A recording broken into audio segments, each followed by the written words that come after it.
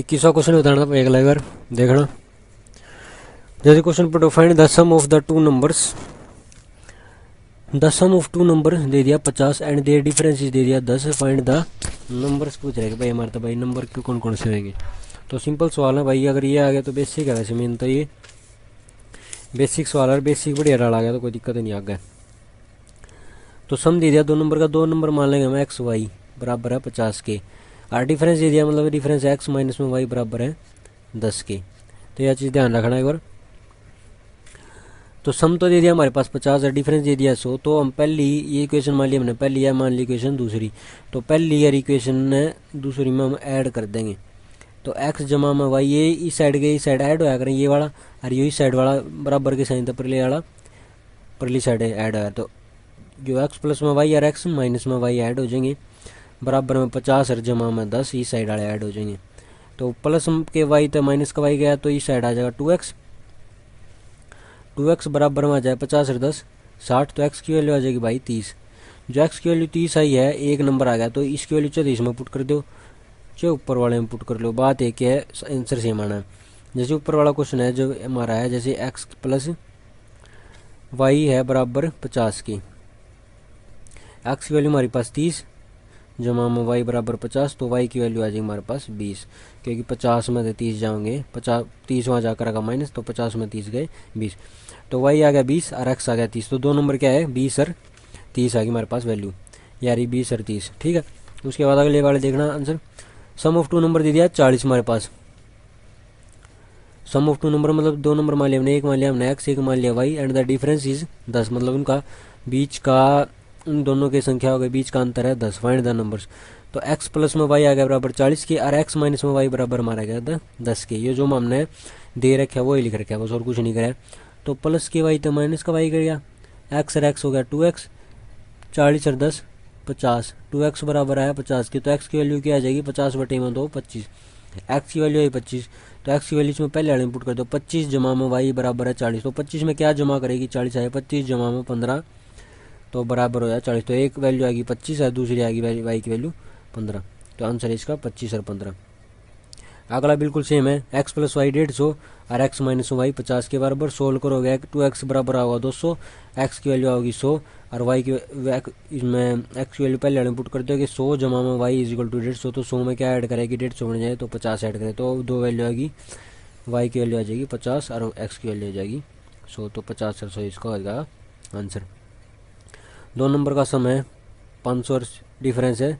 सौ तो एक्स जमा वाई पाँच सौ है एक्स माइनस में वाई आ गया। सौ तो वाई तब वाई गया तो दो एक्स बराबर आ गया छः सौ के।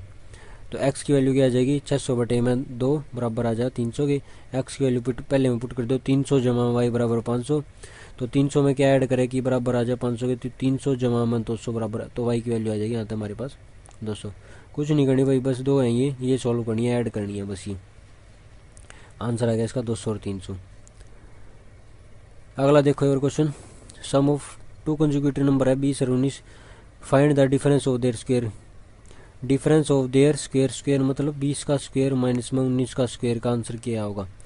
तो मैंने एक पहले फॉर्मूला बताया था ए का स्क्वेयर माइनस में बी का स्क्वेयर बराबर हो गया ए जमा में बी ए माइनस में बी तो वही फॉर्मूला हमने इसमें ला देना, बस ए मान लेना हमने, बीस और बी मान लेना है, उन्नीस. तो ए का स्क्वेयर क्या होगा? ए का स्क्वेयर हो गया ए हो गया बीस तो बीस जमा में उन्नीस और बीस माइनस में उन्नीस। बीस जमा में उन्नीस कितना अगर नौ और तीन उनतालीस और बीस माइनस में उन्नीस हो गया एक। तो उनतालीस ने एक तक गुणा करोगे तो उनतालीस आंसर होगा। इसका आंसर हो गया पहले का उनतालीस, ठीक है? टू कंजिक्यूटिव नंबर चालीस और इकतालीस दे दिए find the difference of their square दो नंबर दे दिए चालीस और इकतालीस।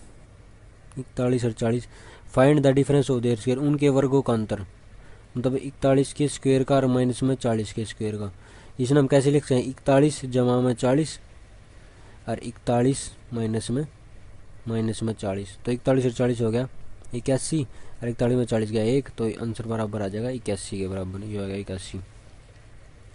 अगला क्वेश्चन और देखना एक बार। The difference between the two number of the two consecutive number is उनचास। Difference between the square of two consecutive number भाई उनके वर्गों का लगातार संख्या होगा।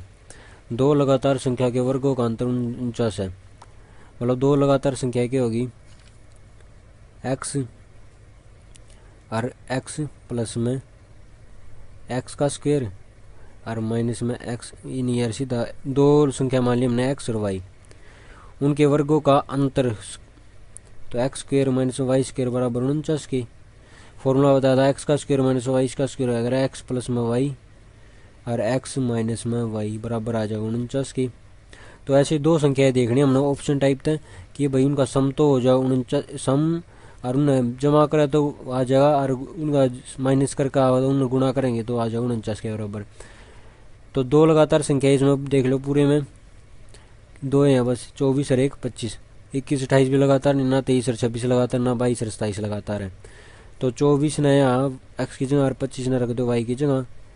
और पच्चीस में तो चौबीस चले जाओगे ये हो जाएगा एक तो। पच्चीस और चौबीस हो जाएगा उनचास। और पच्चीस में तो चौबीस का एक, बराबर उनचास। तो उनचास बराबर उनचास तो ये इक्वेशन सेटिस्फाई होगी तो इसकी वैल्यू है चौबीस और पच्चीस, इसका आंसर है। यानी दूसरा तरीका ही बताया मैंने पहले, जो जैसे उनचास दे रखा था, उनचास जमा में एक बटे दो को लिया गया पचास बटे दो, बराबर आ जाए पच्चीस के। तो एक संख्या तो पच्चीस गई, यहाँ प्लस का साइन है तो ये एक संख्या कम हो जाएगी तो पच्चीस और चौबीस दो आंसर आ गए, पच्चीस और चौबीस। पहले मेरे ख्याल में तीसरा पार्ट है उसमें तीसरा पार्ट में बता रखे ये। नहीं, देखिए, तीसरा पार्ट देना। उसके बाद आ गया क्वेश्चन नंबर अट्ठाईस, ये अगली टाइप है, अगली वीडियो में कराऊँगा। छः मिनट की वीडियो है, अगर बढ़िया लगी वीडियो शेयर सब्सक्राइब ज़रूर कर दियो धन्यवाद भाई।